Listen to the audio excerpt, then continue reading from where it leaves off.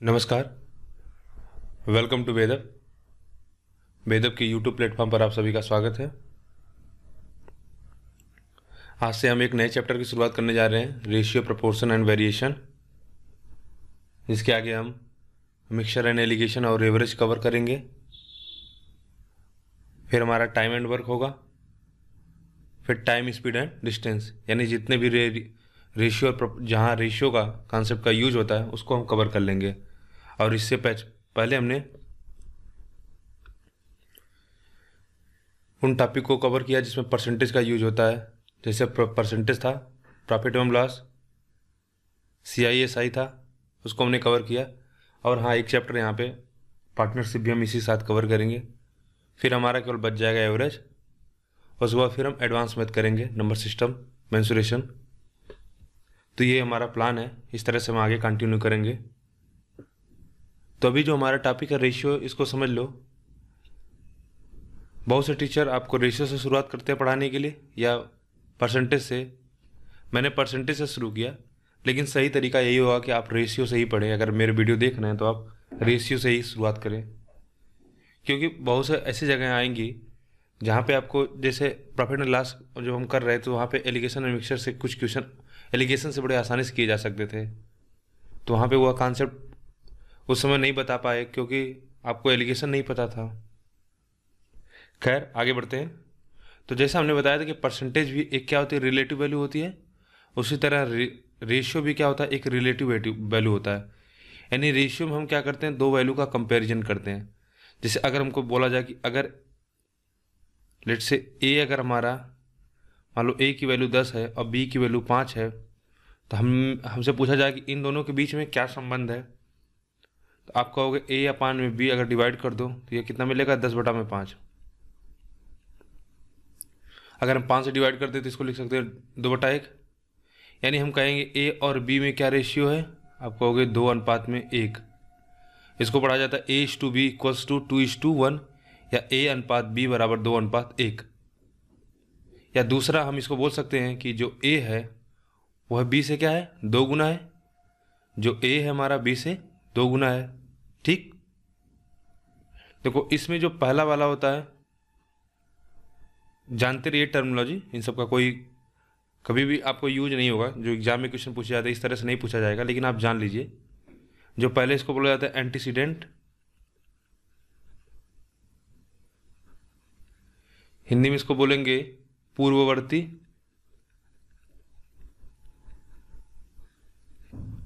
और बाद वाले को बोला जाता है, ठीक है कॉन्सिक्वेंट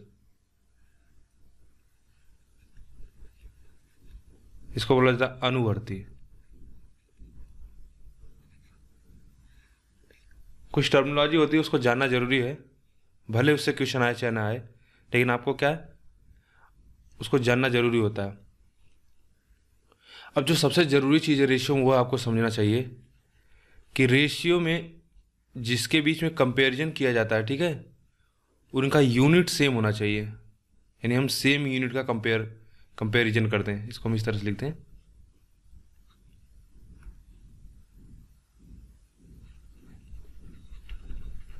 कंपेयर सेम यूनिट ठीक? यानी अगर हम कहें कि दो क्वांटिटी का हम कंपैरिजन कर रहे हैं और वह सेम नहीं है तो वह गलत होगा। जैसे अगर हम कहें, अगर मैं आपसे कहूँ कि, ठीक है, मान लो दस सेब, ठीक है, दस एप्पल और पाँच बनाना का आपको कंपैरिजन करना है, ठीक है तो इसका कंपैरिजन नहीं कर सकते हो, क्योंकि इन दोनों का क्या है? यू सेम क्या सेम यूनिट नहीं है, यानी हम क्या कर रहे हैं कि सेम चीज़ नहीं, दोनों एक ही चीज़ होना चाहिए। लेकिन हाँ यह आप कर सकते हो कि नंबर ऑफ़ एप्पल और नंबर ऑफ़ बनाना यानी जीत, सेब की संख्या और केले की संख्या की आप तुलना कर सकते हो। यहाँ पे आप क्या कर रहे हो, दोनों तरफ़ आप नंबर्स जो हमारे यूनिट है, दोनों तरफ़ नंबर्स है तो उसकी तुलना की जा सकती है। ठीक है? तो अगर आपसे पूछा जाए नंबर ऑफ़ एप्पल टेन और नंबर ऑफ़ बनाना फाइव तो इस, इसका आप रेशियो निकाल सकते हो। और एक चीज़ और ध्यान देना रेशियो का कोई भी यूनिट नहीं होता है। हैज़ नो यूनिट क्यों? क्योंकि अगर यूनिट ऊपर कुछ होगा, नीचे होगा, यह क्या होता आपस में कट जाएगा। अगर हम आपसे कहें जैसे कि जैसे अगर कहा जाए कि 20 लीटर, ठीक है 20 लीटर दूध और 20 केजी, आपका 20 केजी क्या हो? मान लो सेव ही हो। तो क्या इसका कंपेरिजन कर सकते हो? नहीं? क्यों? क्योंकि यहाँ पे मिल्क है और यहाँ पे क्या है? एप्पल है। लेकिन अगर इनकी क्वांटिटी का आप तुलना नंबर की तुलना कर सकते हो, यहाँ पे बीस है यहाँ पे बीस।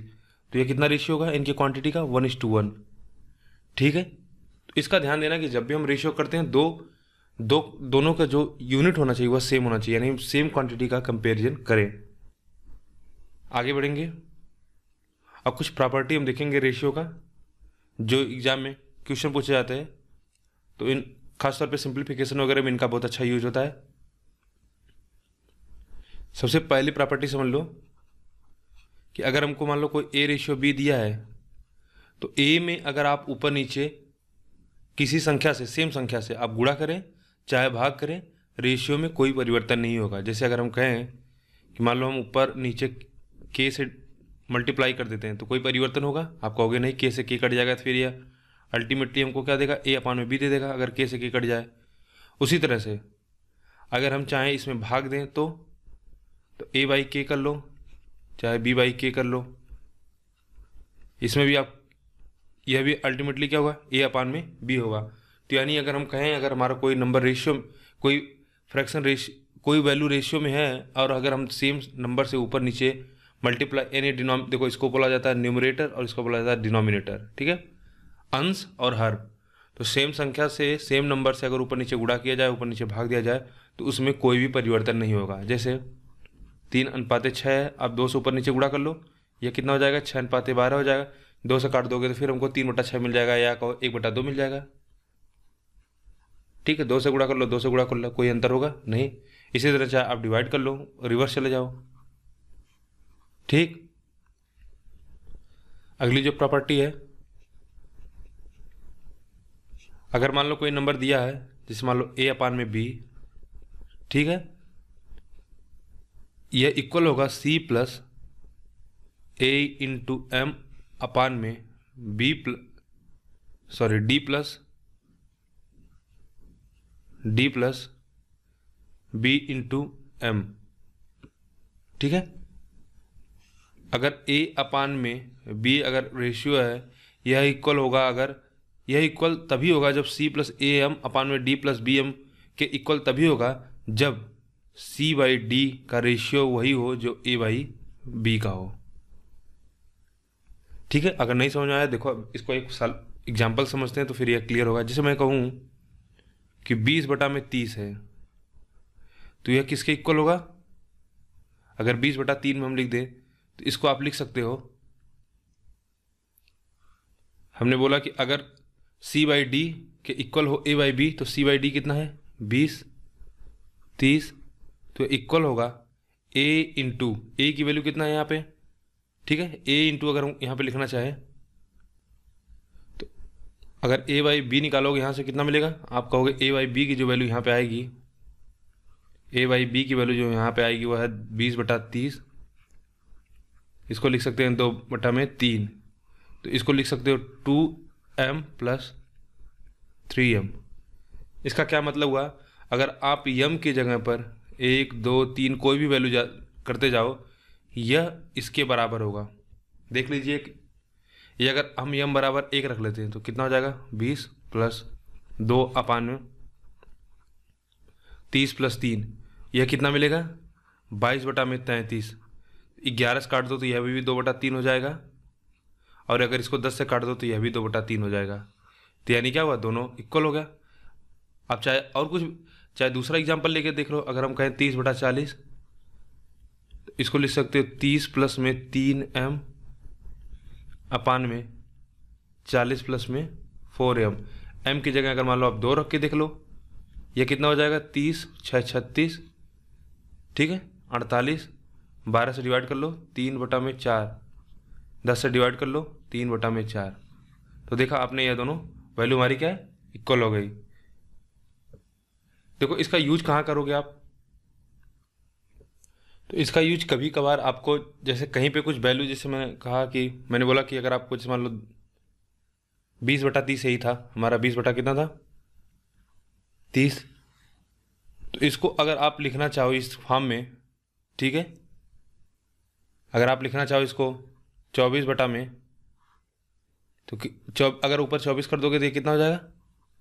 आप कहोगे छत्तीस।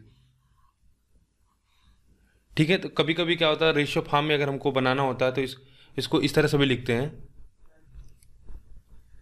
या कभी कभी क्वेश्चन ऐसा आता है, जैसे यही क्वेश्चन था हमारा, कि बीस बटा में तीस अगर दिया हो, और अगर हमको यहाँ पे लिखा हो बीस प्लस, मान लो यहाँ पे दो ठीक है? एक्स अपान में तीस प्लस थ्री वाई तो हमसे पूछा जाए यक्स और वाई का क्या मान हो जिससे दोनों फ्रैक्शन यानी दोनों भिन्न समान हो? ठीक? तो वहाँ पे अगर हमको यह पता होता है तो हम निकाल लेते हैं। या आप कॉमन सेंस से भी कर सकते हो कि दो बाईस और तीन तैंतीस कर देंगे तो ग्यारह बटा मतलब दो बटा तीन हो जाएगा। लेकिन यहाँ पे एक, दो, तीन का अगर हमको दो मान दे दिया कि ए और बी दोनों सही है, खासतौर पे रीजनिंग में ऐसा क्वेश्चन आया हुआ है और नहीं तो यहाँ पे अगर एक दो ऑप्शन देता है तो वहाँ पे हम इसका यूज़ कर लेते हैं, ठीक है?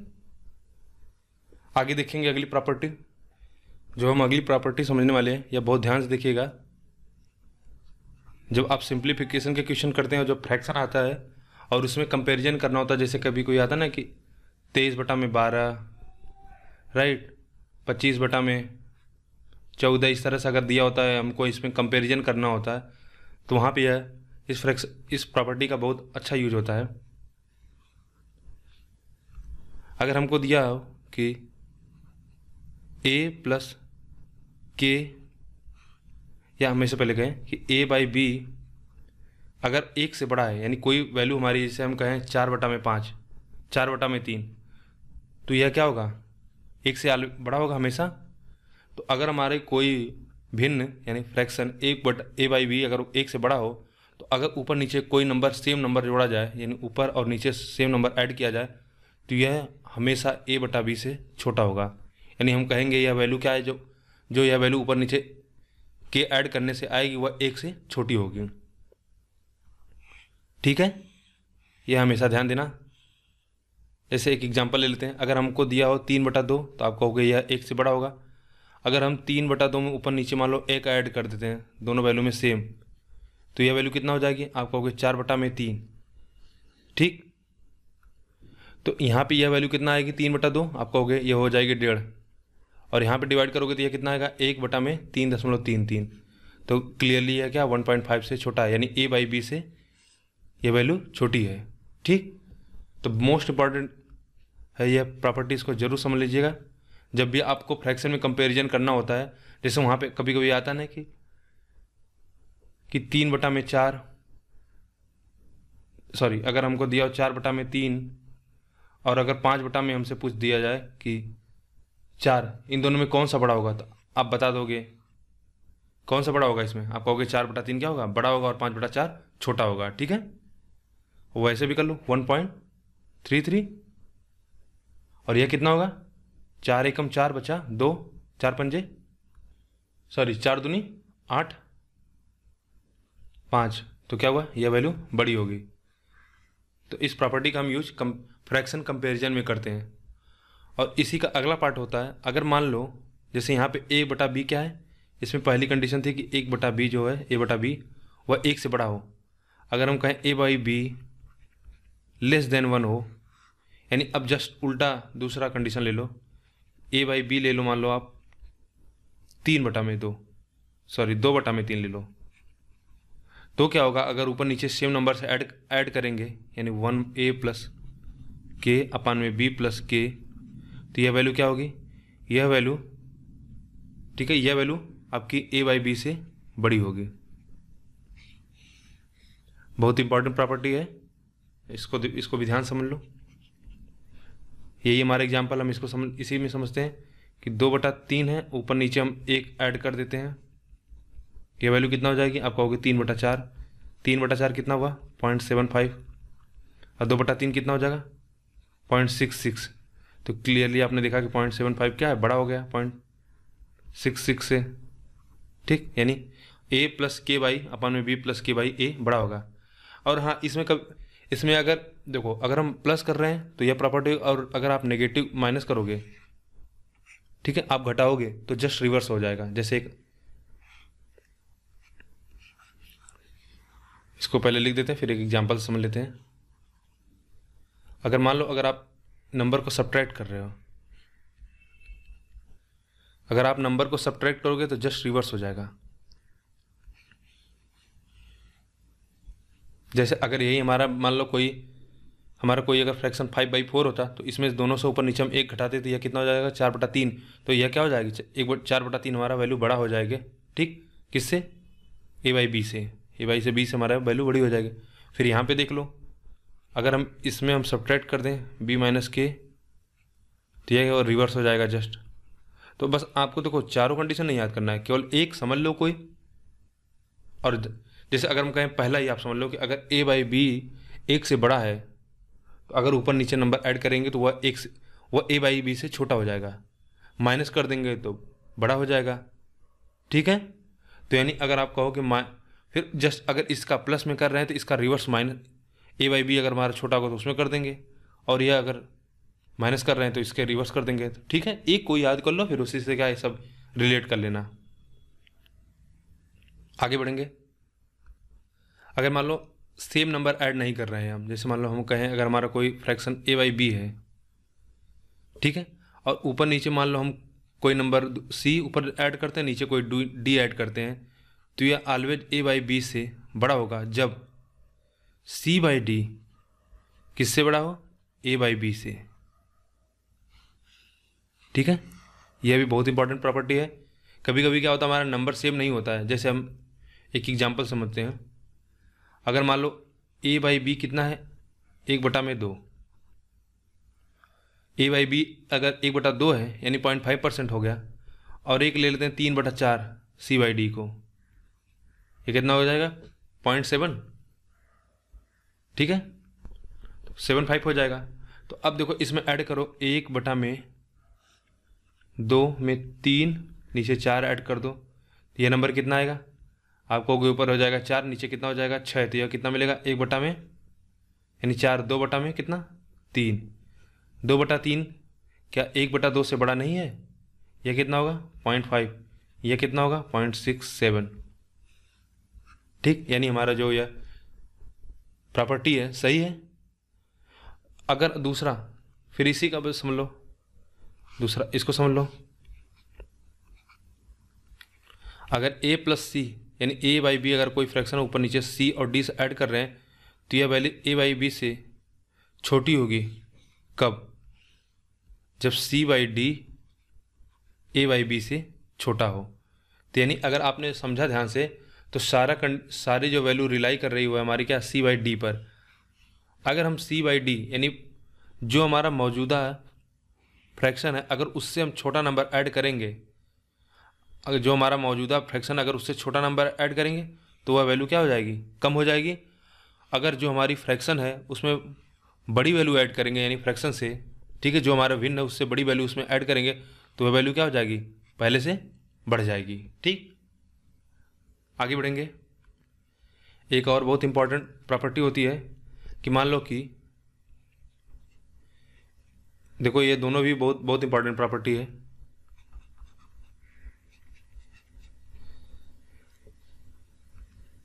आगे बढ़ेंगे। अगर मान लो कुछ फ्रैक्शन दिया a by b c by d e by f इसी तरह आगे आगे दिया दिया हो, और इनकी वैल्यू अगर मान लो के इक्वल है तो आप कह सकते हो कि a plus b plus c plus a plus sorry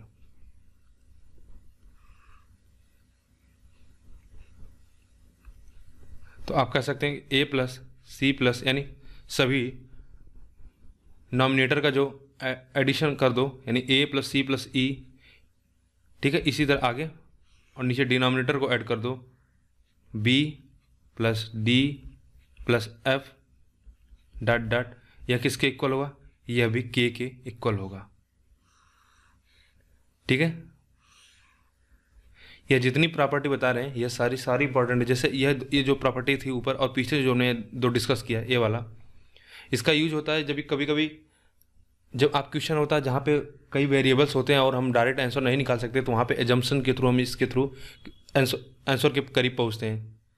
हालाँकि इस तरह के क्वेश्चन बड़े कम आते हैं सी में। जहाँ पे आपको इतना वेरिएबल लेके निकालना हो, लेकिन अगर आप यह तरीका जानते रहोगे तो फिर आपका जो सॉल्यूशन हम करके निकालते हैं वेरिएबल वगैरह लेके, उससे बच जाएँगे और डायरेक्ट हम आंसर के पास पहुँचेंगे। जहाँ भी इसका यूज़ होगा, हम ज़रूर बताएँगे आपको क्वेश्चन में। उसी तरह इसका भी हम उस, इसी प्रकार से यूज़ करते हैं। और इसमें एक चीज़ और जान लो, कि ये जो वैल्यू हमारी आई, यहाँ पे जो के की वैल्यू होगी ना के की वैल्यू वो हमेशा किसके बीच में होगी? यानी अगर हम हम कहें, मान लो अगर हमारा ये तीन है अगर हमारा ये तीन मान लो रेशियो होता और यह सबसे छोटी वैल्यू होती और यह सबसे बड़ी वैल्यू होती, यानी यह मैक्सिमम वैल्यू होती फ्रैक्शन का और सबसे यह मिनिमम वैल्यू होती तो जो के की वैल्यू होगी ना, वह ई बाई एफ़ से ए बाई बी के बीच में क्या होगी? लाई करेगी। ठीक है? या ए बाई बी से ई बाई एफ़ के बीच में लाई करेगा। आगे बढ़ेंगे। अगली प्रॉपर्टी देखते हैं। आपको देखो रेशियो का मल्टीप्लिकेशन भी आना चाहिए। जैसे अगर हम कहें ए बाई बी ठीक है? एंड बी बाई सी अगर आपको निकालना हो, यानी अगर आपसे बोला जाए कि a ratio b ratio c find out करना तो कैसे करोगे? देखो, एक तरीका होता है बिल्कुल कि हम बेसिक्स करेंगे। जैसे हम कहें कि ए बाई बी मान लो। ए बाई बी हमको दे रखा है कितना? एक अनुपाते दो। अब बी बाई सी दे रखा कितना? चार अनुपाते में। चार अनुपात में पाँच। तो हमसे पूछा जाए, ए अनुपात, बी अनुपात, सी कितना होगा? आप कहोगे, यहाँ पे बी कितना है? चार, पाँच। यहाँ पे बी कितना है? दो। तो यह कैसे बराबर होगा? बी की भी वैल्यू क्या हो जाएगी? चार हो जाए तो यानी बी ए के बराबर है। आप कहोगे, बी ए के बराबर है, बी सी के बराबर है तो आप कह सकते हो ए बराबर, बी बराबर, सी। ठीक है? तो एक हमको क्या होगा? रेशियो निकल जाएगा। तो आप इसको चार बनाने के लिए क्या करोगे? दो से मल्टीप्लाई कर दोगे तो ये कितना हो जाएगा? यह हो जाएगा ए अनुपात बी कितना हो जाएगा? यह हो जाएगा दो अनुपात में चार। तो ए अनुपात बी अनुपात सी का रेशियो कितना आ जाएगा? आप कहोगे दो चार एवं पाँच। ठीक है? यह बेसिक तरीका हुआ। कभी कभी हमको चार का निकालना होता है। तो आ, कभी कभी क्या होता है? हर बार इस तरह से निकालने निकालना आसान नहीं होगा। अगर आपकी प्रैक्टिस होगी तो आप सारे निकाल लोगे।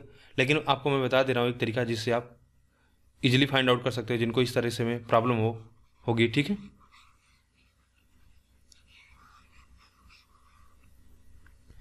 तो देखिए कैसे हम निकालते हैं। ध्यान समझना, अगर इस तरह से लिख लो ए बी ठीक है? नीचे लिख लो बी और सी देखो, यहाँ पे एक खाली स्थान है। यहाँ पे भी एक खाली स्थान है। तो यहाँ पे जो खाली स्थान है ना, इसको क्या है? बी फिलअप कर लेगा। और नीचे भी जो खाली स्थान है, वह बी हो जाएगा, भर जाएगा। तो यहाँ पे बी हो जाएगा, यहाँ पे बी हो जाएगा। अब क्या करो, आप सीधा सीधा मल्टीप्लाई कर लो। अब मल्टीप्लाई करने से भी पहले आप एक काम कर सकते हो कि जो कॉमन वैल्यू है ना, उनको काट सकते हो। जैसे बी इसमें है बी इसमें बी इसमें, तीनों में। आप चाहो तो बी काट लो तो यह कितना मिलेगा? ए अनुपात बी अनुपात सी ठीक? तो जैसे अभी हमारा पीछे क्या था? ए अनुपात बी हमने कितना लिया था? एक अनुपात दो था। बी अनुपात सी कितना था? चार अनुपात पाँच। देखो कैसे करोगे? एक अनुपात दो लिखोगे, नीचे क्या लिखोगे? चार अनुपात में पाँच। हमको पता है यह स्थान खाली तो यह दो ले लेगा और यह स्थान खाली चार ले लेगा। और अगर आप देखो तो दो सब में कामन है तो दो से दो कट जाएगा, दो कट जाएगा और दो कट जाएगा। कितना मिलेगा? दो, चार, पाँच। ठीक? इसी तरह से आप चार में भी कर सकते हो। चार में कैसे करोगे? देखो। अगर हमको चार का निकालना हो ए एन पाते बी बी एन पास सी सी एन पार्ट डी दे रखा हो और आपसे पूछा जाए कि find out a ratio b ratio c ratio d की वैल्यू बताइए, क्या होगा? देखो, आप कहोगे ए अनुपात में बी बी अनुपात में सी बी अनुपात में सी सी अनुपात में डी हमने जाना कि यहाँ पे स्थान खाली है तो यह क्या फिलअप बी फिलअप कर लेगा? और आगे भी बी आ जाएगा। इसी तरह यहाँ पे खाली होगा तो इसको कौन भरेगा? सी करेगा। इधर देखेंगे तो इस स्थान को कौन फिलअप करेगा? बी यहाँ पे कौन आएगा? आप कहोगे सी और यहाँ पे सी ठीक है मतलब जो खाली होगा, उसके जस्ट बगल वाली जगह पे, उसके एडजेसेंट नंबर क्या होगा, उसको फिलअप करेगा। अगर आप ध्यान से देखो, सब में कुछ कॉमन है? बी बी बी बी सब में कॉमन है तो देखो बी हम काट सकते हैं। कोई और नंबर सी सी सी सी ठीक है? सी भी काट सकते हो। सी कट जाएगा। तो फाइनली क्या मिलेगा? ए रेशियो में बी रेशियो में सी रेशियो में डी ठीक है? इस तरह से हम फिर चाहे हमको चार का निकालना हो, चाहे पाँच का निकालना हो छः का निकालना हो, किसी नंबर का भी निकाल लेंगे। यह बात हुई हमारी रेशियो की। रेशियो हमने इतना प्रॉपर्टी सीखा। एक बार देख लेते हैं प्या, पूरा फिर से, ठीक है? हमने क्या बताया कि रेशियो एक कंपेरेटिव वैल्यू होती है दो वैल्यूओं के बीच में हम कंपैरिजन करते हैं रेशियो का यूनिट सेम होना चाहिए। फिर हमने कुछ समझा कि अगर ऊपर नीचे नंबर सेम नंबर से मल्टीप्लाई कर लो या डिवाइड कर लो नंबर वही आएगा। फिर एक प्रॉपर्टी हमने यह देखी। फिर हमने बोला कि अगर हमारा ए बाई बी वन से बड़ा है तो ऊपर नीचे अगर सेम नंबर ऐड करते हैं तो अगर वह वैल्यू एक से बड़ी होगी और नंबर ऐड कर रहे हैं तो वह फाइनल फ्रैक्शन क्या होगा? इनिशियल फ्रैक्शन से कम हो जाएगा और घटा रहे हैं तो वह फाइनल फ्रैक्शन इनिशियल फ्रैक्शन से बढ़ जाएगा। अगर ए बाई बी वन से छोटा है तो जस्ट रिवर्स हो जाएगा। ठीक है? उसी तरह से अगर हम ए बाई बी में अगर कोई नंबर मतलब fraction c plus c by d add कर रहे हैं, अगर सी बाई डी ए से ए बाई बी से बड़ा होगा तो जो हमारा फाइनल आउटकम होगा वह इनिशियल जो हमारा फ्रैक्शन था उससे बड़ा हो जाएगा। और अगर c by d a by b से कम है तो वह क्या हो जाएगा? जस्ट रिवर्स हो जाएगा। फिर हमने बोला कि अगर a by b c by d e by f की अगर वैल्यू किसी एक, यानी कांस्टेंट है सेम है तो अगर इनके न्यूमरेटर और डिमोनेटर का का रेशियो निकालेंगे तो वह भी क्या होगा? के के इक्वल होगा। और जो के की वैल्यू होगी, वह लोवेस्ट फ्रैक्शन से और हाईएस्ट फ्रैक्शन के बीच में लाई करेगा। फिर आगे हमने देख लिया अभी कि अगर हमको रेशियो दो रेशियो तीन रेशियो चार रेशियो दिया, फिर उनका एक कंबाइंड रेशियो निकालना हो तो कैसे निकाल लेंगे? ठीक? अब आगे समझते हैं कि प्रपोर्शन क्या होता है। इसी सा, इसी के साथ उसको भी समझ लेंगे फिर हम क्वेश्चन करेंगे। या अभी तक हमने बात किया रेशियो का। तो अगर प्रपोर्शन को बस प्रपोर्शन को आसान भाषा में अगर हम समझें तो प्रपोर्शन बस दो इक्वल रेशियो के ठीक है दो रेशियो के बीच में इक्वालिटी होती है। यानी अगर हम कहें ए बाई बी और सी बाई डी दो रेशियो इक्वल हैं तो इनको इस तरह से रिप्रेजेंट किया जा सकता है। A ratio b is to c ratio d यानी ए अनुपात बी समानुपात सी अनुपात ए डी ठीक है, इसको समानुपात बोला जाता है। और रेशियो को अनुपात बोलते हैं। तो अगर हमारा दो रेशियो इक्वल है ए बाई बी ठीक है सी बाई डी अगर दोनों इक्वल हैं तो इनको इस तरह से हम प्रपोर्शन में रिप्रेजेंट करते हैं। अब इसमें कुछ समझने वाली बात है जो है, जो देखो, इस तरह की वैल्यू इधर ए और हमारा डी जो है, ठीक है? जो हमारा ए और डी है, उसको बोला जाता है एक्सट्रीम वैल्यू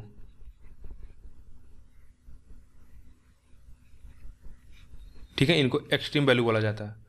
और जो बी और सी है बी और सी है, ठीक है? इनको बोला जाता है मीन टर्म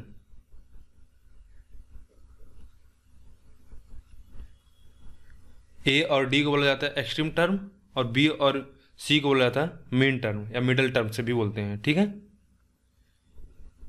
अब इसकी भी कुछ प्रॉपर्टी देख लेते हैं एक एक करके, ठीक है? पहली प्रॉपर्टी समझ लो कि अगर चार नंबर इस तरह से प्रोपोर्शन हो, जैसे a ratio b is to c ratio d तो आप कहोगे जो एक्सट्रीम टर्म है उनका प्रोडक्ट मिडिल टर्म टर्म के प्रोडक्ट के बराबर होता है।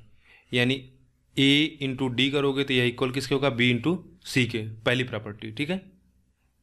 यह देखो कहाँ से आता है? आप कहोगे एक बाई बी अगर सी बाई डी के बराबर है तो क्रॉस मल्टीप्लीकेशन कर तो कितना हो जाएगा? A into d equals to b into c यही बात मिलेगी, ठीक है? अगली जो चीज़ आपको समझेंगे है, इस पर क्वेश्चन बनता है और बहुत से लोगों को इस पर बहुत ज़्यादा कन्फ्यूज़न होता है कि जैसे क्वेश्चन पूछता पूछता है कि फोर्थ प्रपोर्शनल बताओ थर्ड प्रपोर्शनल बताओ या मीन प्रपोर्शनल बताओ, ठीक है? यानी इसको बोल, हिंदी में अगर बोलें कि चतुर्थानुपात बताइए, तृतीयानुपात या माध्य अनुपात क्या क्या होता है? तो इसमें कन्फ्यूज़न होता है, इसको हम बड़े आसान भाषा में समझेंगे, जिससे आपको कभी भी इसमें कोई भी कन्फ्यूज़न ना रहे। लेकिन उससे भी पहले एक समझ लो और कंटिन्यूड प्रपोर्शन क्या होता है, ठीक है?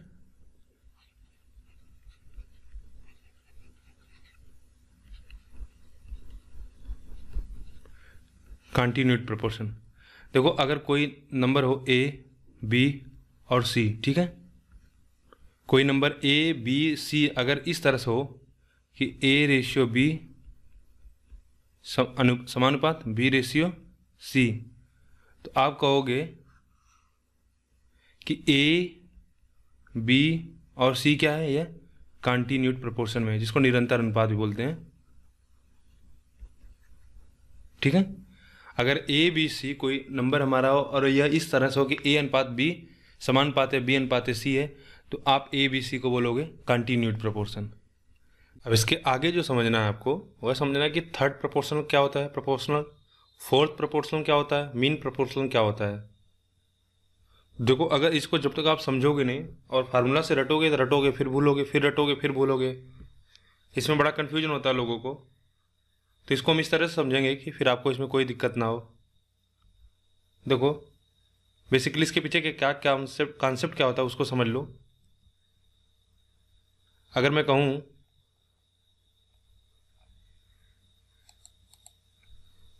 देखो, अगर चार नंबर है और चारों नंबर क्या है? प्रपोर्शन में है। इस प्रकार से अगर कोई चार नंबर है a ratio b b c ratio d तो आप कहोगे यहाँ पे ए बी सी और डी क्या है? प्रपोर्शन में है। ठीक है? तो अब यहाँ पे देखो, जो जो यहाँ पे जो यहाँ पे डी है हमारा, उसको बोला जाता है फोर्थ प्रोपोर्शनल डी को आप बोलते हो फोर्थ प्रोपोर्शनल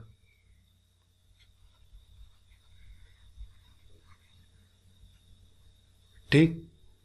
इसको बोला जाता है फोर्थ प्रोपोर्शनल तो डी कैसे निकालोगे? आपको पता है एक्सट्रीम टर्म का जो प्रोडक्ट होता है, वो मीन टर्म के प्रोडक्ट के बराबर होता है. तो अगर आपको डी फाइंड आउट करना तो आप क्या कहोगे? B into c by a ठीक है? जैसे एक एग्जांपल लेते हैं। जैसे अगर कोई आपको क्वेश्चन दे रखा हो कि चार, कोई नंबर ले लो। जैसे नौ ले लेते हैं और बारह। ठीक है? अगर चार, नौ, बारह मान लो हमारा नंबर दिया है और बोला जाए कि आपको चतुर्थानुपात चतुर्थानुपात बताना है, यानी फोर्थ प्रपोर्शनल बताना है। कैसे कहोगे? आप बोलो कि मान लो, मेरा फोर्थ प्रपोर्शनल जो है, वह एक्स है। आप क्या बोलोगे? Four is to nine four is to nine ठीक? Four to nine is to कितना? Twelve is to twelve ratio x तो आप बोलोगे four into x equals to nine into twelve यहाँ से सॉल्व कर दो तो एक्स बराबर कितना आ जाएगा? ट्वेंटी सेवन तो फोर्थ प्रपोर्शन कितना आएगा? ट्वेंटी सेवन ठीक है? आगे देखिए। अब इसमें जो जो आपका सी है, ठीक, इसको बोला जाता है थर्ड प्रपोर्शनल इसको बोला जाएगा थर्ड प्रपोर्शनल इसको कैसे निकालोगे? अगर हम कहें, हमारे सामने, ठीक है, दो नंबर हो, और इसमें जो सबसे ज़रूरी चीज़ समझने की बात है, वह आप यह ध्यान देना कि थर्ड प्रपोर्सन जो होता है हमारा, यानी अगर हम कहें हमारे पास दो नंबर हो, जो सी है, वह ए और बी का थर्ड प्रपोर्सन होगा, ठीक है? उसी तरह जो डी होगा, वह ए और बी और सी की ए बी सी अगर तीन नंबर है तो उसका फोर्थ प्रपोर्सन होगा। जैसे हमने देखा कि अगर चार, नौ, बारह होगा तो उसका फोर्थ प्रपोर्सन कितना होगा? उसका फोर्थ प्रपोर्सन एक्स अगर जो भी हो, हम उसको निकाल लेंगे। उसी तरह अगर हमारा थर्ड प्रपोर्सन पूछा जाए तो हमको अगर ए बी का यह थर्ड प्रपोर्सन होगा और जो मीन प्रपोर्शन होगा, वह क्या होगा? ए और बी का जो मीन प्रपोर्शन होगा, वह अंडर रूट ए बी होगा। ठीक? तो अगर हमसे, हमको दिया हो कि अगर मान लो ए और बी दो नंबर हैं तो हमको बताओ कि इसका थर्ड प्रपोर्शनल थर्ड प्रपोर्शनल कितना होगा? कैसे निकालोगे? तो इसका थर्ड प्रपोर्शन आप क्या बोलोगे? आप कहोगे कि ए रेशियो में बी ठीक है? प्रपोर्शन बी रेशियो में थर्ड प्रपोर्शन मान लो अगर आपका एक्स है यानी जो यहाँ पे हमारा सी है तो ये एक्स की वैल्यू कितना हो जाएगी? आप कहेंगे बी स्क्वायर बाई ए यह क्या होगा? आपका थर्ड प्रपोर्शन होगा। इसको एक एग्ज़ाम्पल समझ लो कि अगर मान लो दो वैल्यू आपको दे रखा है, सोलह और छत्तीस मान लेते हैं, और आपसे पूछा जाए कि फाइंड द थर्ड प्रपोर्शन आपको अगर बताना है तो कैसे क्या करोगे आप?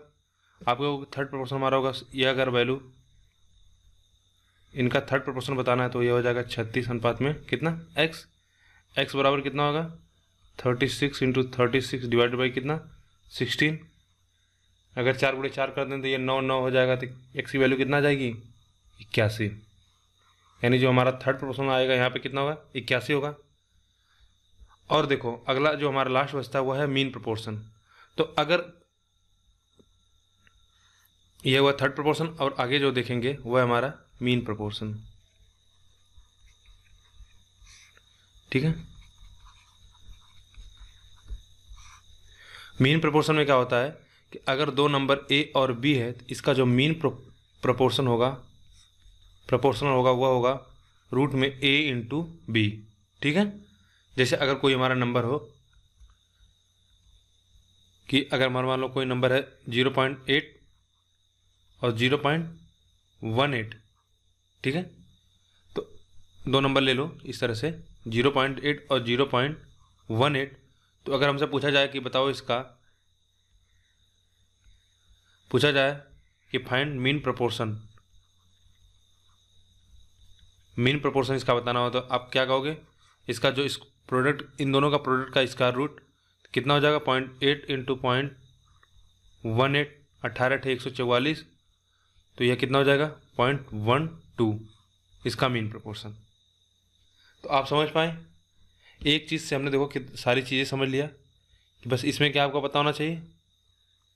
अगर ए बी सी डी इस तरह से हो तो देखो, अगर ए बी सी डी तीन नंबर हमारा, चार नंबर हो तो आप कहोगे ए बी सी का जो फोर्थ प्रपोर्शन होगा हुआ क्या होगा? डी उसी तरह, अगर हमको दो नंबर दिया हो ए और बी हो तो इसका थर्ड प्रपोर्शन कितना होगा? आप कहोगे सी और कोई दो नंबर हमारा ए बी हो, उसका मेन प्रपोर्शन कितना होगा तो वह होगा रूट में ए इंटू बी फिर आगे हमने देखा कि मान लो अगर हमारा चार नौ बारह है तो इसका फोर्थ प्रपोर्शन कितना होगा? एक्स होगा। तो हमने इस तरह से इसको लिख लिया।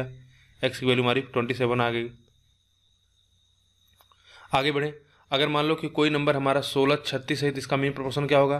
तो सोलह छत्तीस अगर यह इस तरह से लिखा हो तो हमको पता है कि मीन प्रोपोर्शन अगर इसका निकालेंगे तो कितना होगा? यानी ये इस सी की वैल्यू हमसे पूछी जा रही है। तो हमने, अगर हमने बोला कि भाई, अब थर्ड प्रोपोर्शन तो इसको हम क्या करेंगे? सोलह अनुपात में छत्तीस छत्तीस अनुपात में एक्स लिख सकते हैं और यहाँ से हम एक्स की वैल्यू निकाल लेंगे। और जो हमारा लास्ट है मीन प्रोपोर्शन अगर कोई दो वैल्यू ए अनुपात बी में है तो मीन प्रोपोर्शन क्या होगा? इसका रूट इंटू ए बी ठीक? यहाँ तक अगर क्लियर हुआ? अब लास्ट समझ लास्ट टॉपिक जो बचा है, उसको भी समझ लो कंपोनेंडो डिवेंडो ठीक है? इस पर काफ़ी क्वेश्चन बनता है। उसके बाद हमारा थ्योरी वाला पार्ट पूरी तरह से समाप्त हो जाएगा। अब जो हमको समझना है बाकी चीज़ें, उसको हम क्वेश्चन के थ्रू समझेंगे। तो देखो, सब, सबसे पहला समझ लो। जिनको फ्रैक्शन का एक तरह से यह क्या होती है प्रॉपर्टी होती है, उसको जानते रहो। पहला देखते हैं। अगर a by b equals to c by d है, इसको आप लिख सकते हो। B by a equals to d by c कोई अंतर होगा नहीं। अगर आप दोनों रिवर्स कर दोगे, यानी उल्टा कर दोगे तो कोई अंतर नहीं होता है। ये वैल्यू सेम रहेगी। इसको बोला जाता है इनवर ठीक है? इनवर टेंडो दूसरा देखो। ये बेसिक आप समझ रहे हो कि अगर एक बटा दो इस तरह से लिखा हो और चार बटा दो मान लो, चार बटा आठ लिखा हो तो हम इसको दो बटा एक लिख दें, आठ बटा चार लिख दें, तब भी बात वही रहेगी, दो एक बराबर दो। ठीक है, इसमें कोई अंतर होगा नहीं। आगे देखिए। अगर हमारा लिखा हो ए अनुपात में बी इक्वल्स टू सी अनुपात में डी तो बताइए अगर हम सी को इधर लेते आए, ठीक है, और बी को इधर लेते आए तो कोई अंतर होगा? आप कहोगे a by c, b by d, यह भी क्या होगा? सेम होगा। इसको बोला जाता है अल्टर अल्टर नैंडो अल्टर नैंडो, ठीक है? जैसे अगर हमारा मान लो, जैसे अभी पिछला एग्ज़ाम्पल था कि चार बटा आठ और एक बटा दो था। अभी हम चाह रहे हैं कि इसको लिखें, चार बटा में एक इधर लेते जाएँ और आठ उधर लेते जाएँ। तो यह बताइए कोई अंतर हो रहा है? यह चार इक्वल्स टू चार आएगा। ठीक तो बात तो वही हुई। कोई अंतर होगा नहीं। आगे समझिए। अगला जो सबसे मोस्ट इंपॉर्टेंट है जो इसकी आगे, देखो, इसके आगे का तो आप मल्टीप्लाई करके भी निकाल सकते हो ए इंटू बी इसको क्या लिख सकते हो? ए डी बराबर बी सी फिर उसमें आप यह वैल्यू इजीली पा जाओगे। अब जो यहाँ पे जो आपको समझना है कि अगर ए अनुपात में b equals to c by d हो, ठीक है? अगर हम इसको इस तरह से भी लिख सकते हैं ए प्लस बी अपान में b equals to c plus d upon में डी यानी अगर हम नीचे से डिनोमिनेटर को ऊपर नॉमिनेटर में ऐड कर दें ठीक है डिनोमिनेटर को न्यूमिनेटर में ऐड कर दें तो हमारी वैल्यू क्या होगी? सेम होगी, यानी रेशियो सेम होगा। इसको बोला जाता है, इसको बोला जाता है कंपोनेंडो और इसी तरह से, आगे देखिए, अगर हम, अगर ये हमको दिया हो तो आप अगर आप इस तरह कर लो कि ए माइनस बी अगर आप घटा दो डिनोमीटर को न्यूमरेटर से तो जो आपको रेशियो मिलेगा वह सेम होगा। इसको बोला जाता है डिविडेंडो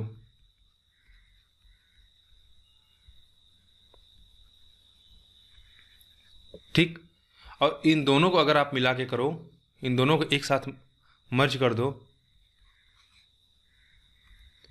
अगर ये हमारी वैल्यू इस तरह से दे रख हो आप इसको बोलोगे, अगर आप करो कि ए प्लस बी अपान में ए माइनस बी या दोनों को आप सीधा चाहो तो इन दोनों को इक्वेशन को डिवाइड कर लो, या आप डायरेक्ट कर सकते हो अगर आपको ए बाई बी जैसे अगर आपको इस तरह से इक्वेशन दे रख, कोई अगर मान लो, कोई दिया हो proportion a by b c by d तो आप इसको ए प्लस बी और ए माइनस बी कर लो c plus d c minus d कर लेना सी प्लस डी और सी माइनस डी कर लो तो ये जो रेशियो मिलेगा ये दोनों सेम होगा। इसको इसको बोला जाता है कंपोनेंडो एंड डिविडेंडो डिविडेंडो ठीक है? इन दोनों को मिला के कंपोनेंडो एंड डिविडेंडो बोला जाता है। तो यह मोस्ट इंपॉर्टेंट है। ये तीनों चीज़ें आप जानते रहिए। इनका अलजेबरा में बहुत अच्छा यूज़ होता है। सिंप्लीफिकेशन में हम यूज़ करते हैं, ठीक है? अब बाकी ये तो बहुत बेसिक चीज़ है, बताने के लिए मैंने बता दिया। अब हम देखो एक एक करके क्वेश्चन करेंगे। आई थिंक मैंने सारी प्रॉपर्टी डिस्कस कर दिया। ठीक है? हमने प्रपोर्शन के लगभग सभी प्रॉपर्टी डिस्कस कर लिया रेशियो के सभी प्रॉपर्टी डिस्कस कर लिया। अब हाँ एक चीज़ और है,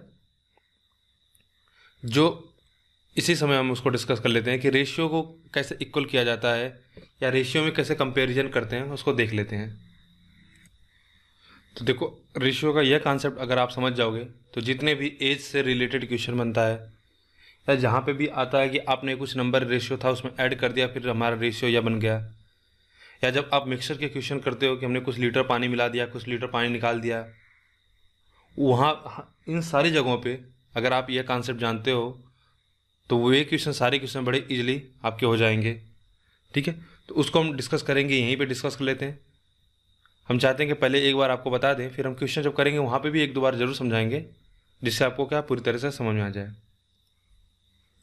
देखो, जैसे अगर हम कहें कि मान लो हमारा कोई जैसे ए रेशो बी ले लो, कोई number a ratio b number आप ले लो और कहते हैं कि मान लो यह तीन अनुपात में, तीन अनुपात में चार है। ठीक है? और हमसे अगर बोला जाए कि दोनों नंबरों को ए अनुपात बी है, दोनों नंबरों में हमने क्या किया कि छः ऐड कर दिया सिक्स ऐड कर दिया तो जो हमारा नया रेशियो बना वह कितना हो गया? अगर हम कहें सी और डी हमारा कोई नया रेशियो बन रहा है, वह कितना हो जा रहा है? चार अनुपात में पाँच। चार अनुपात में पाँच। ठीक है? तो इस एक छोटे से एजम्पन से देखो हम कितनी सारी चीज़ें सीख सकते हैं। या जैसे अगर हमसे पूछ दिया जाए कि सी और डी के बीच में क्या डिफरेंस है, या सी और डी मिला के इन दोनों का सम क्या है, या सी और डी का प्रोडक्ट क्या है, या ए बी का जो प्रोडक्ट क्या है, ठीक है? सारी चीज़ें निकाल सकते हो। तो देखो, अगर यह आपको नहीं पता होगा तो आप कैसे करोगे? आप बोलोगे कि मान लो, आप कहोगे कि मान लीजिए ए बराबर हमारा थ्री एक्स है वेरिएबल लोगे। बी बराबर फोर एक्स है तो तीन एक्स प्लस छः अपान में फोर एक्स प्लस सिक्स ये कितना हो जा रहा है? ये हो जा रहा है चार बटा पाँच। और यहाँ से आप एक्स की वैल्यू फाइंड करोगे। तो यह कम्बरसम प्रोसेस है और इसमें क्या है आपका टाइम जाएगा। लेकिन देखो, हमको इन सारी चीज़ों को नहीं करना है। ठीक है, जो मैं आपको सिखा रहा हूँ, ध्यान से समझिएगा। सारी बातें आपको समझ में आ जाएँगी।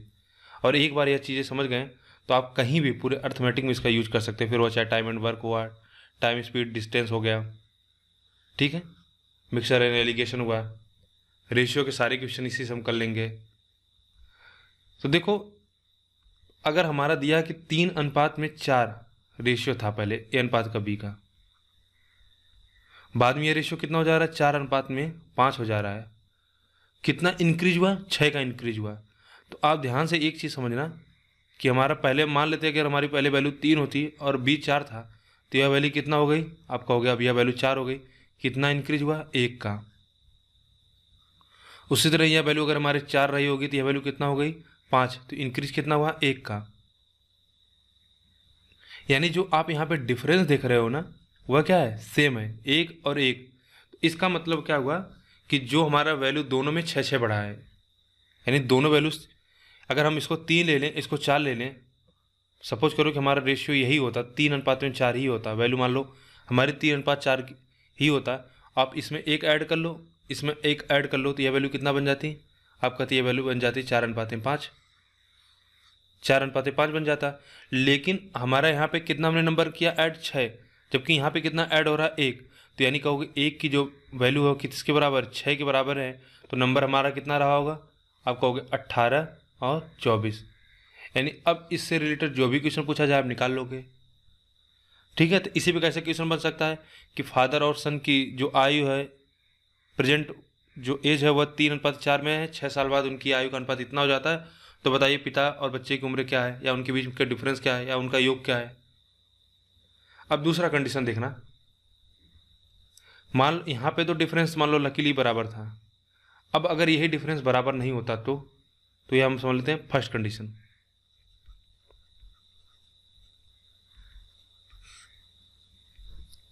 अगर यह डिफरेंस बराबर नहीं होता तो तो अगर जब डिफरेंस बराबर नहीं होता केस इसको लिखते हैं। अगर डिफरेंस बराबर नहीं होता, तब क्या करोगे उस कंडीशन में? हम डिफरेंस को बराबर कर लेंगे। जैसे एक एग्जांपल लेते हैं। मान लेते हैं कि राम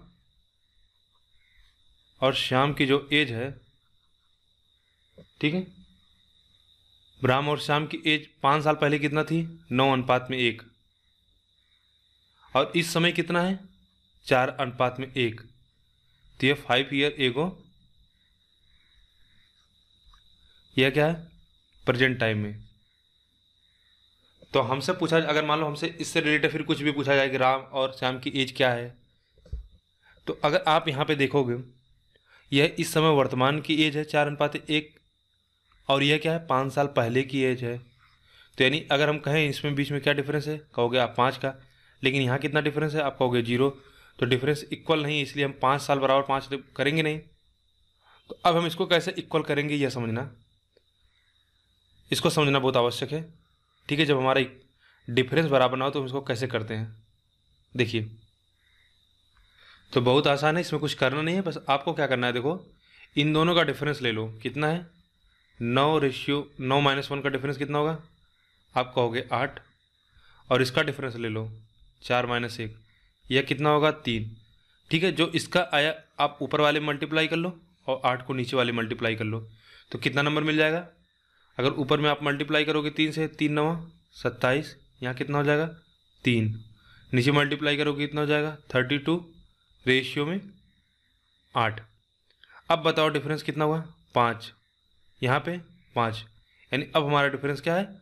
सेम है। ये हमारा डिफरेंस कितना आ रहा है? पाँच साल का आ रहा है। और जबकि हमारे एक्चुअल में कितना दिया है? पाँच साल है। तो पाँच पाँच के बराबर तो एक कितने के बराबर होगा? एक एक के बराबर होगा। तो यानी जो राम की एज होगी वह क्या होगी? एक्चुअल जो एज होगी वह क्या होगी? ट्वेंटी सेवन और शाम की एज कितना होगी? वह वह वह होगा आपका तीन। तो अगर आप कुछ भी पूछें, इनके बीच का डिफरेंस पूछे तो आप चौबीस बोल दोगे, इन दोनों का सम पूछे, तीस बोल दोगे। ठीक है? इसके बाद एक और केस बनता है, उसको भी समझ लो। अगला केस देख लो। जैसे अगर हम कहें कि आपने कोई एक मिक्सर लिया है, ठीक है? एक मिक्सर लिया है लेट से मिल्क और वाटर का। और इनमें जो अनुपात है, वह कितना है? दो अनुपात एक, तीन अनुपात एक और तीन अनुपात दो।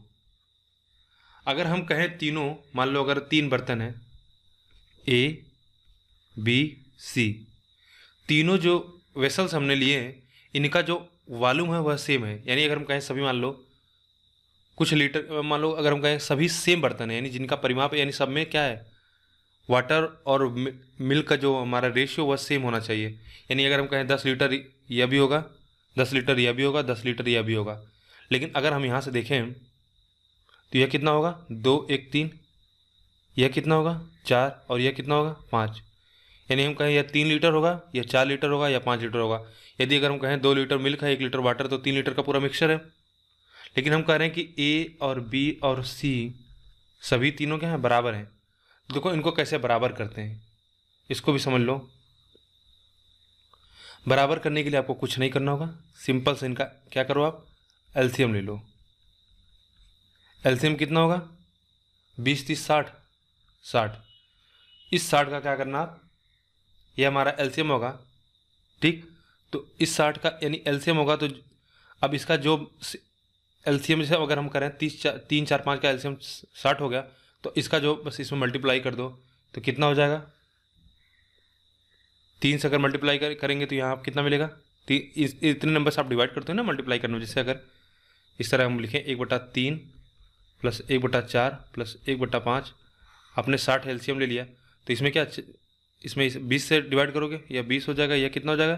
पंद्रह और यह कितना हो जाएगा? प्लस बारह ना इसे यही किया जाता है ना तो सेम चीज़ यहाँ पे भी हम अप्लाई करेंगे वही। जस्ट वन सेकेंड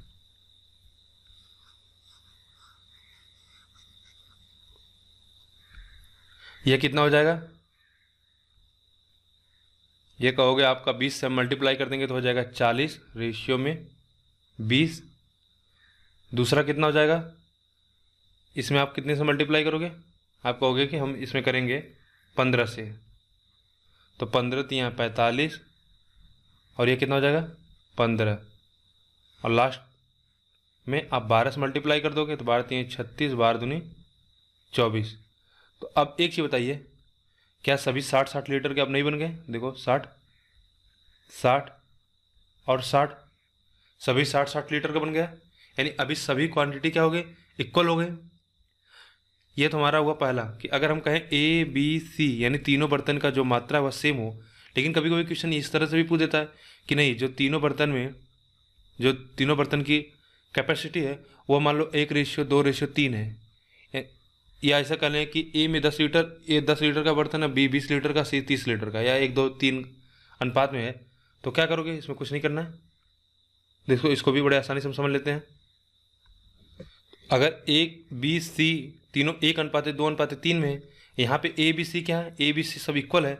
तो बस एक, दो अनुपात दो अनुपात तीन में करना है तो इसको क्या करेंगे? आप वन से मल्टीप्लाई करो, इसको दो से मल्टीप्लाई कर दो, इसको तीन से मल्टीप्लाई कर दो। ये अल्टीमेटली क्या हो जाएगा? एक रिशो दो रिशो तीन के अनुपात में आ जाएगा। तो ये लास्ट कॉन्सेप्ट था जो आपको समझाना था। इसके बाद केवल क्वेश्चन करना है। सारे कॉन्सेप्ट हमने डिस्कस कर लिया। अब जो एक, दो कॉन्सेप्ट बचा वो मिक्सर के जब हम चैप्टर करेंगे तो वहाँ पे सीख लेंगे। बेसिकली उसको, इसको वहीं पे सीखा जाता है। लेकिन पहले से जानते रहो, अगर कोई बीच में क्वेश्चन आ जाएगा तो फिर उसके लिए पूरा लंबा डिस्कशन करना पड़ेगा, समझाना पड़ेगा। तो उससे बेहतर है कि उसको चीज़ों को शुरुआत में ही सीख लिया जाए। तो अब हम सीधा क्वेश्चन की तरफ़ जंप करेंगे। पहला क्वेश्चन देखते हैं। हमको बताना है कि sum of mean proportion number दस, दशमलव आठ और चार, दशमलव आठ और थर्ड प्रपोर्शनल दो और चार के, दोनों के बीच का क्या? योग फल क्या होगा? ठीक है? कैसे करोगे? पहला नंबर दिया कितना? टेन पॉइंट एट और फोर पॉइंट एट हमको क्या होता ना मीन प्रपोर्शन इसका? मीन प्रपोर्शन बताना, ठीक है?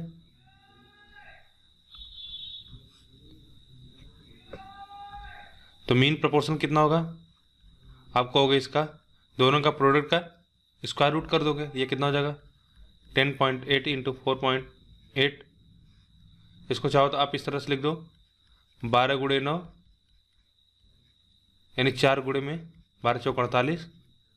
नीचे लिख सकते हैं सौ।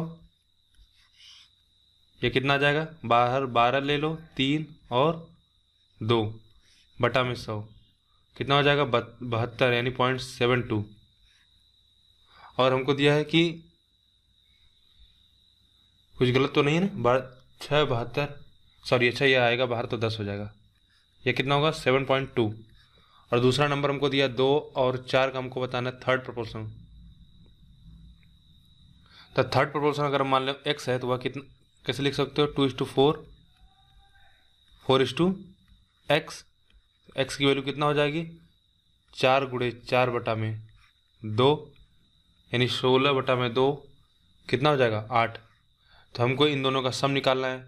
Third proportional plus mean proportion का कितना होगा? आठ प्लस सेवन पॉइंट टू यानी पंद्रह दशमलव में दो। कौन सा ऑप्शन होगा? पहला। दूसरा क्वेश्चन देखेंगे।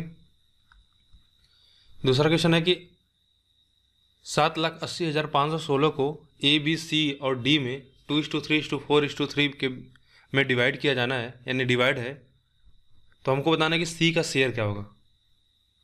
इस क्वेश्चन को करने से पहले एक कॉन्सेप्ट जो छूट गया था बताना। देख लो, उसको भी सीख लो।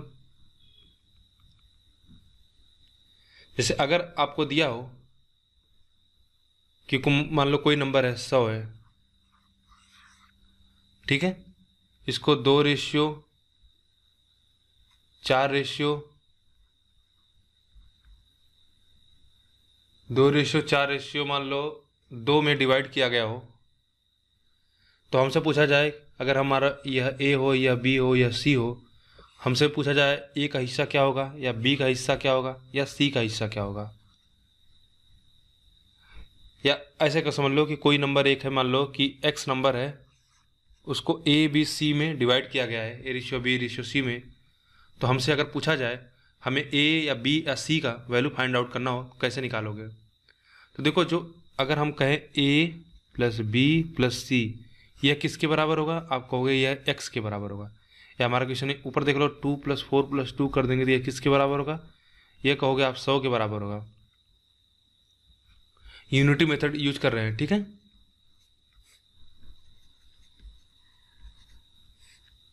तो अगर आपसे पूछा जाए दो किसके बराबर होगा तो आप कहोगे सौ बटा में इन दोनों, तीनों का सम यानी a plus b plus c equals to जो भी आपसे पूछा जाए ए पूछा जाए, ये इसके बराबर होगा। तो इसी, इसीलिए अगर आपको इस प्रकार से लिखा हो और कोई भी वैल्यू पूछा जाए, जैसे अगर हमने कहा ए एक्स है, इसको इस तरह से डिस्ट्रीब्यूट किया गया a ratio b ratio c ratio d में तो आपसे मान लो कुछ भी पूछ दिया जाए कि आप बताओ ए प्लस बी की वैल्यू क्या होगी। तो आप कहोगे जो एक्स है, यानी a plus b plus c plus d की वैल्यू एक्स के बराबर है आपसे अगर पूछा जाए ए प्लस बी किसके बराबर होगा तो ए प्लस बी की वैल्यू कितना हो जाएगी? यह हो जाएगा। अगर आपसे पूछा जाए डी की वैल्यू बताइए तो A plus B plus C plus D किसके बराबर है? यह एक्स के बराबर तो डी किसके बराबर हो? इतना होगा। ठीक है? यूनिटी मेथड का बिल्कुल बेसिक सा यूज़ है, लेकिन इसको भी रटते हैं लोग। रटना नहीं, समझना क्यों ऐसा किया जाता है? तो हमारा जो क्वेश्चन था, हमारा क्वेश्चन था सात लाख अस्सी हज़ार पाँच सौ सोलह को दो अनुपात तीन अनुपात चार अनुपात तीन में डिवाइड किया गया है। What is the share of C यानी चार हमको बताना है। तो यह बताइए कितना हुआ? दो तीन, पाँच तीन, आठ चार, बारह। यानी बारह किसके बराबर है? बारह आप कहोगे अठहत्तर हज़ार सॉरी सात लाख अस्सी हज़ार, पाँच सौ सोलह के बराबर है। तो चार किसके बराबर होगा? यानी वन थर्ड हो गया इसका। आप बेसिक्स यहाँ से कर लो, इसका वन थर्ड कर लो। वन थर्ड कर लोगे तो कितना हो जाएगा? तीन दूनी छः तीन सतह तीन दूनी छः तीन छः अट्ठारह, यानी छब्बीस कौन सा होगा? दूसरा ऑप्शन हो गया। और इसको देखो देखो, अब यही चीज़ है ना, जब आप समझते रहोगे चीज़ों को तो आप किसी भी प्रकार से कर लोगे। अगर यह आपको समझ नहीं होती तो आप, अगर आप केवल आपने फार्मूला रटा है तो आप कैसे करते हैं? आप बोलते हैं कि पाँच सौ छप्पन, सोलह, या किसके बराबर होगा? आप कहोगे पूरा A plus B plus C यानी दो प्लस तीन प्लस चार प्लस तीन और हमसे क्या पूछा? सी सी की वैल्यू कितना है? चार आप कहोगे चार। अब देखो, फिर यहाँ से आप सिंप्लीफाई करोगे। लेकिन आपको यह समझ होगी कि यह वैल्यू किसके बराबर है? इतने के बराबर है। तो एक कितने के बराबर होगा? फिर हम चार निकाल लेंगे। तो चार निकालना है, हमको पता कि यह इसका वन थर्ड है। तीन गुना कम किए हैं तो इसका भी वन थर्ड कर देंगे तो हम डायरेक्ट यहाँ से आंसर के पास पहुँच जाएँगे। तो यही एडवांटेज होता है चीज़ों को बेसिक से समझने का। फिर आप अपने मर्ज़ी, आपके पास कोई लिमिटेशन नहीं होती, आप क्वेश्चन को किसी भी प्रकार से कर सकते हो। आगे बढ़ेंगे। अगला क्वेश्चन है, कुछ इसी प्रकार से कि हमारा चालीस हज़ार सॉरी चार लाख सड़सठ छः हज़ार सात सौ छत्तीस रुपया है। चार लाख चार लाख छः हज़ार सात सौ छत्तीस रुपया है। इसको ए बी सी में इस प्रकार बांटा गया है कि कि ए रेशियो बी कितना है? वह है तीन अनुपात में दो और बी रेशियो सी कितना है? वह है एक अनुपात में दो। तो हमको बताना है कि ए, बी यानी सी का शेयर क्या है? तो सबसे पहले हम क्या करें? ए, बी और सी का रेशियो निकाल लें। तो आप चाहते हो तो देखो अब यही है कि अगर आप समझते हो चीज़ों को, यानी बी इसमें बराबर बी इसमें बराबर तो इसको क्या करो? बस दो से मल्टीप्लाई कर लो। और अगर आपने रट अगर जैसे आपने ए बी सी का फार्मूले से अगर करोगे तो आप कहोगे यहाँ पे भी दो हो जाएगा, यहाँ पे भी यह एक हो जाएगा। तो यह कितना हो जाएगा? तीन, दो और यह कितना हो जाएगा? चार। तो लेकिन आपको इतना लिखना नहीं पड़े बस आप समझ रहे हो कि चीज़ें यहाँ पे दो है, यहाँ पे एक अनुपात दो है यानी बी की वैल्यू बस हमको बराबर करनी है। तो यहाँ क्या करो? दो से मल्टीप्लाई कर दो, चार हो जाएगा तो दो दो बराबर है, तीन, दो, चार हो जाएगा डायरेक्ट करोगे। तो सभी तरीके आपको आने चाहिए, तभी आपके क्वेश्चन में क्या होगी? तेज़ी आएगी। तो हमसे क्या पूछा? सी का शेयर कितना है? तो देखो तीन दो पाँच चार नौ नौ के बराबर कितना है? चार लाख छः हज़ार तीन सौ छत्तीस नौ के बराबर है। तो हमसे पूछा सी की वैल्यू बताओ तो सी की वैल्यू निकाल लेंगे यहाँ से। तो अब बस अब कुछ नहीं, हमको कैलकुलेशन करना है। कर लेते हैं। यह कितना हो जाएगा? नौ चौक छत्तीस, नौ चौक छत्तीस, ज़ीरो, बहत्तर। ठीक है? ज़ीरो, बहत्तर, नंबर कटेगा नहीं क्या? तीन दो पाँच चार नौ सही है। तो ये नंबर तो डिवाइड नहीं होगा। कहीं गलत? कितना था? ए बी सी के बीच में। ए अनुपात बी दो अनुपात अच्छा अच्छा ठीक ठीक है। यहाँ पे गलती हो गई है।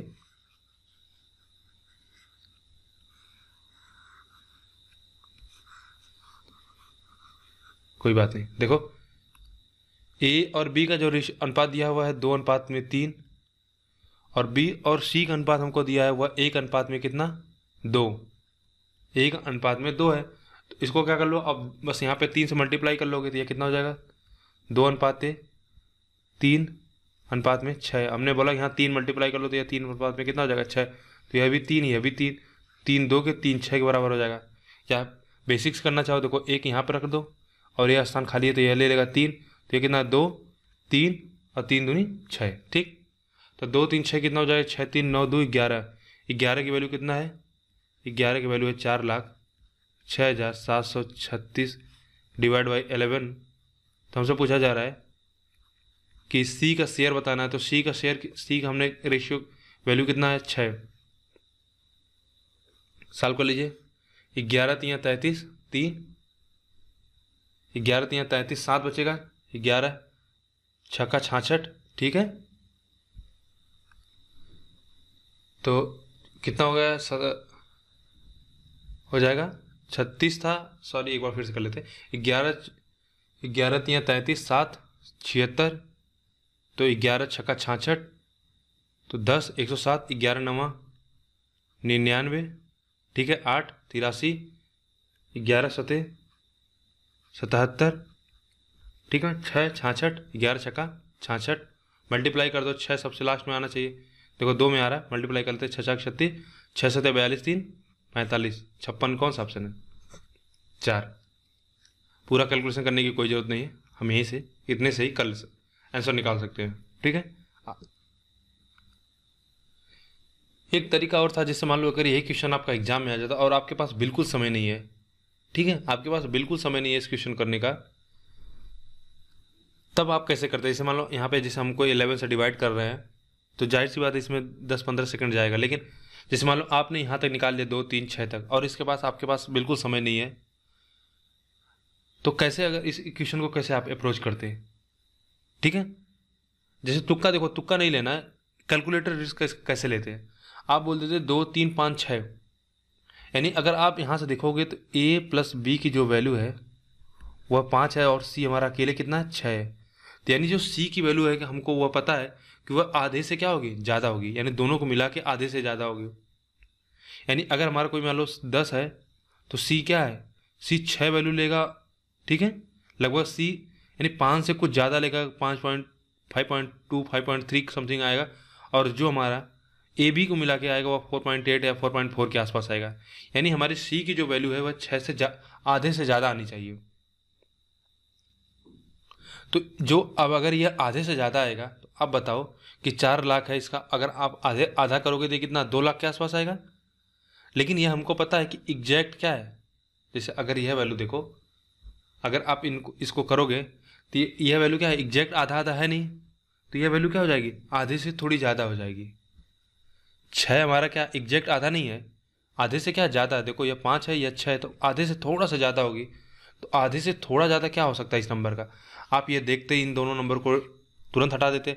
और अगर यह नंबर आपके सामने दो होता तो आप बोलते कि नहीं, यह नंबर तो नहीं होगा, क्योंकि यह आधे से बहुत ज़्यादा है। देखो, हमारा सब मिला के ग्यारह हो रहा है या छः हो रहा है, हमको पता है एक का केवल अंतर हो रहा है तो एक का अंतर इतना नहीं दे देगा। ठीक है, एक का डिफरेंस इतना नहीं आएगा। यह बात अगर आपको समझ में आ रही है तो आप, अगर आपके पास टाइम नहीं होता तो आप अप्रॉक्स ले लेते और आंसर सही होता। ठीक है? आगे बढ़ेंगे। अगला क्वेश्चन है हमारा कि अगर अठहत्तर सौ रुपये को ए बी सी में डिवाइड करना है one by two one by three और वन बाई फोर के रेशियो में तो हमको बताना है कि बी को कितना शेयर मिलेगा। यहाँ पे भी देखो एक चीज़ आपको सीख ले, सीखना है कि जैसे हमारा यही क्वेश्चन था कि अगर हमारा दिया हो A ratio B ratio C या इसको ऐसे बोले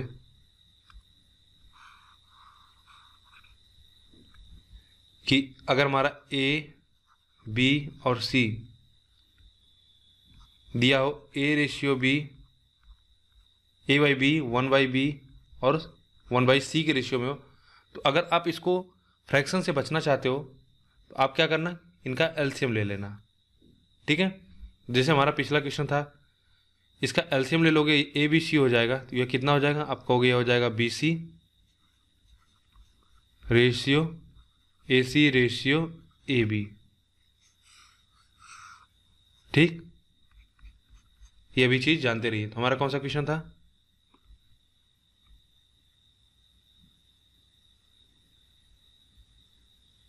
ठीक। देखो, यहाँ पे दिया था कि A ratio B ratio C कितना है? एक बटा में दो, एक बटा में तीन और एक बटा में चार। तो हमने क्या बोला? आप यहाँ पे क्या ले लोगे? एलसीएम कितना हो जाएगा? ट्वेल्व। ये नंबर कितना हो जाएगा? छः ये कितना हो जाएगा? फोर। ये कितना हो जाएगा? थ्री। तो ए बी सी का जो रेशियो आया, वो कितना मिला? Six ratio four ratio three. छः चार, दस, तीन, तेरह। छः चार, दस, तीन, तेरह किसके बराबर है? क्वेश्चन में दिया अठहत्तर सौ। तो एक की वैल्यू कितना हो जाएगी? एक की वैल्यू हो जाएगी आपको हो छः सौ, तेरह छः अठहत्तर। तो हमसे पूछा है बी की वैल्यू बताओ तो बी की वैल्यू कितना हो जाएगी? चौबीस सौ। कौन सा ऑप्शन होगा? तीसरा। ठीक? तो अभी इसकी, इस वीडियो में केवल इतना ही रखते हैं। फिर अगली वीडियो में हम चर्चा, फिर इसी पे क्वेश्चन करेंगे अभी। ठीक है? रेशियो प्रोपोर्शन पे जितने भी प्रकार से क्वेश्चन बन सकता है उसको अगली वीडियो में हम डिस्कस करेंगे। अगर वीडियो आपको पसंद आ रहा है तो चैनल को सब्सक्राइब कर लें। वीडियो को लाइक करें और अपने दोस्तों के साथ शेयर करें। वीडियो देखने के लिए आपका बहुत बहुत धन्यवाद।